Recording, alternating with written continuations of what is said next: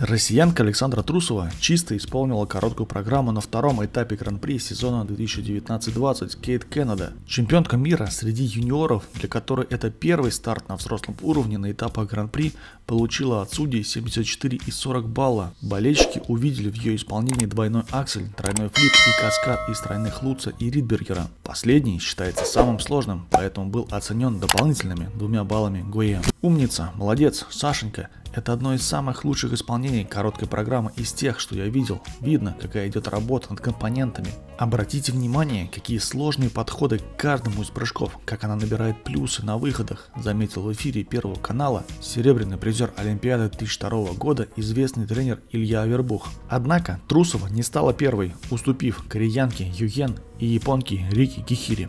Евгения Медведева стартовала под девятым номером в Канаде, и ей, к большому сожалению, не удалось чисто представить свою программу нового сезона на первом официальном турнире. Во время своего проката в короткой программе Женя сорвала один из прыжков, и после выступления на фигуристке просто не было лица. Ей присудили за короткую программу 62 и 89 балла. Еще одна российская фигуристка Серафима Саханович неудачно исполнила свою короткую программу. Во время исполнения каскада тройные флип-тулуп у фигуристки не получился выезд. Базовую стоимость прыжка судьи снизили. Таким образом, по итогам короткой программы Серафима занимает седьмое место, 62 и 63 балла. Первое место по итогам короткой программы занимает Рика Кихира, исполнившая идеально свою программу и набрав 81 и 35 баллов. Второе место занимает южнокорейская фигуристка Юен с 78 и 22 балла. Александра Трусовна расположилась пока на третьем месте, 74 и 40 баллов. Евгения Медведева занимает шестое место, 62 и 89 баллов.